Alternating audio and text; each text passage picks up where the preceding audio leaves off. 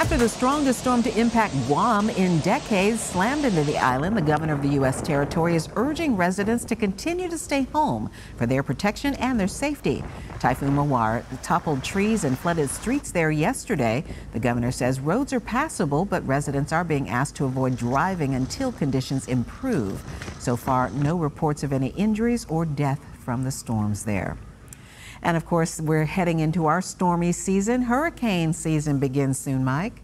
Yeah, in fact, just about a week from today on June 1st, the National Weather Service has issued its outlook for the upcoming tropical season, and they're forecasting 12 to 17 named storms. That's a tropical storm or hurricane, 39 mile an hour winds or higher. Of those, five to nine will be hurricanes, and of those, one to four will be major hurricanes, category three or more.